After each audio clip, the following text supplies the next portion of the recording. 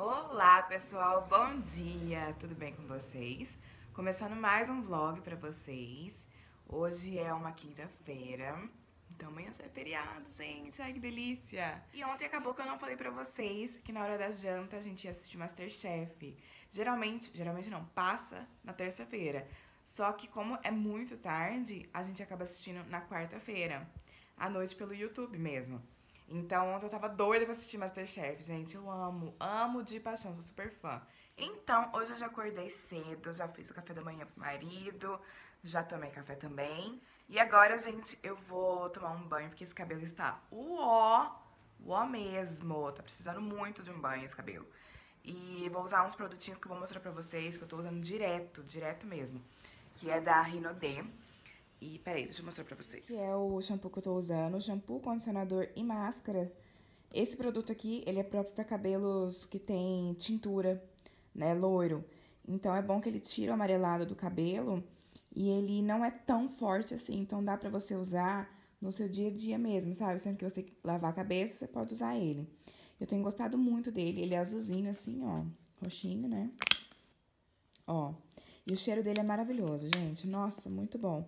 Então, se estiver procurando algum produto, eu super indico esse daqui, que é muito bom. Eu tenho gostado muito dele mesmo.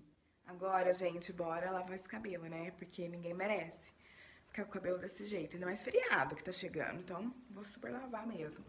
Prontinho, gente, cabelo lavado. Pelo amor de Deus, tava precisando demais. Tava muito feio. Agora eu vou deixar secar o cabelo. Vou deixar secar naturalmente. Porque assim, gente, geralmente secador eu uso em, em dias extremos, assim, sabe? Ou quando eu vou no salão, ou quando eu tô com muita pressa. Mas como eu não tô com muita pressa, não estou com pressa mesmo, então eu vou deixar o cabelo secar naturalmente, que eu acho que danifica menos. Porque ele já tem loiro aqui na ponta, ó. Então já danificou um pouquinho, né? Então é melhor a gente ficar evitando essas coisas de calor, chapinha, babyliss, essas coisas, né? Então eu vou deixar secar aqui naturalmente. Depois a gente vê como fica. E esse daqui vai ser meu café da manhã, café preto, Magic Toast com creme de ricota, que é maravilhoso, maravilhoso mesmo. Sou apaixonada nesse creme de ricota. E moranguinhos que eu achei no verdureiro ontem, que eu mostrei pra vocês. Esse aqui vai ser meu café. Gente, fui pegar minhas encomendas de Páscoa. Olha isso! Olha esse ovo, gente, recheado. Maravilhoso. Esse aqui é de Kinder. E esse daqui é uma barca, gente. Isso aqui é Nutella, gente, vocês acreditam? Nutella. Aí aqui tem vários bombonzinhos, né, pra gente experimentar, cada um. E aqui tem os pastéisinhos de Nutella. Arrasou. Quem fez pra mim, gente, foi a Karina. Vou deixar também o contato dela aqui embaixo pra vocês, se vocês quiserem fazer encomendas.